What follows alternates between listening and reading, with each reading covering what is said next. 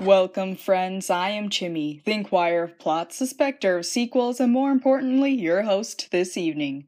Tonight's Out of This World movie is The Green Slime, starring Robert Horton, which came out in 1968.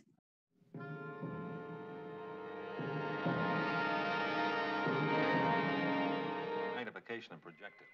When a meteorite is headed in a That's catastrophic collision course for Earth in 10 hours, Commander Rankin is called from retirement to lead a team to blow up the asteroid. He is sent to Gamma 3, where he is to acquire a team and materials to blow up the asteroid. Trying to put aside past rivals with his ex girlfriend, Dr. Lisa Benson, who went with his best friend years ago. His ex best friend is now Commander Elliot of Gamma 3 Space Station. They land and set explosives on the asteroid. But they discover what appears to be a green slime.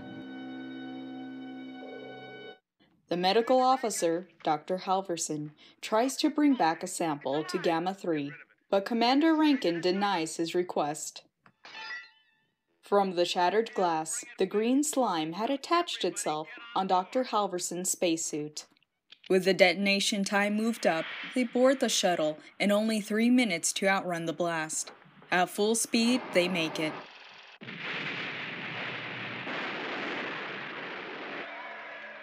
They are welcomed back and praised for saving the Earth from what would have been a catastrophic collision.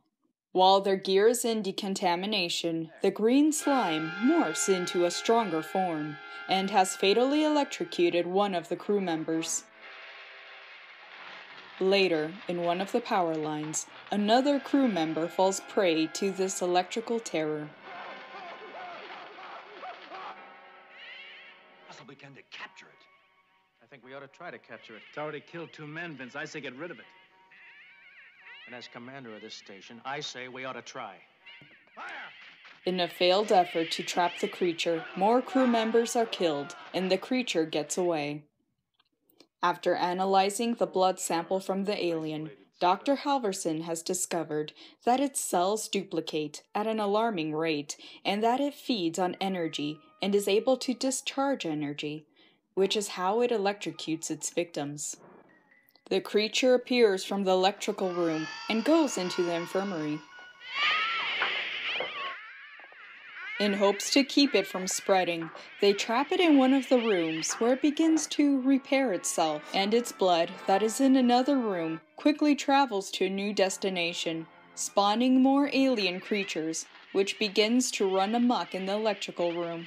So Commander Rankin cuts off all power in C block and sets lights to draw the creatures into a room to contain them. But they escape. Now the only thing that can be done is to trap them in one of the sections and open the airlock. But Dr. Halverson, defying orders, trying to save his research, is locked in with the alien creatures. Away from that panel! Trying to save Dr. Halverson, Elliot and Lisa defy Rankin's orders and opens the door in vain. Halverson is dead, and now the alien creatures are released and blows out a section of Gamma 3. Now they're spreading all over Gamma 3, with help from the radiation from the sun. Rankin gives orders to evacuate Gamma 3, then to detonate it. But the escape hatch won't open because the creature's outside barricading the hatch. So Commander Elliot and a few other crew members go outside the space station and shoot the creatures.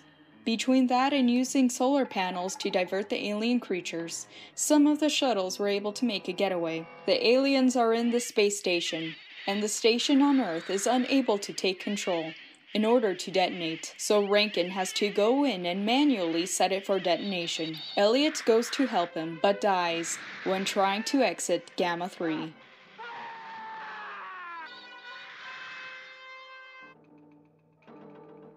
Pull in close. Take them aboard. Gamma 3 explodes in Earth's atmosphere. It's ready, sir. This is Rankin reporting. As a result of action above and beyond the call of duty by Commander Vince Elliott, evacuation successful with minimum of casualties. Mission completed. All right, Lieutenant. Take her down.